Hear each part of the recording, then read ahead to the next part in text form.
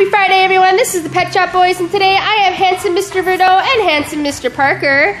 Now, if you don't know, Mr. Parker absolutely adores Mr. Verdot. Um, and I think Verdot really likes the attention. I think he loves Parker just as much. It's very cute to see you guys play.